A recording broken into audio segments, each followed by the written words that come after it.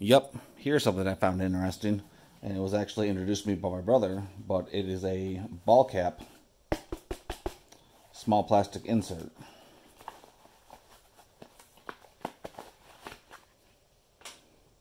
There it is, and can protect your noggin.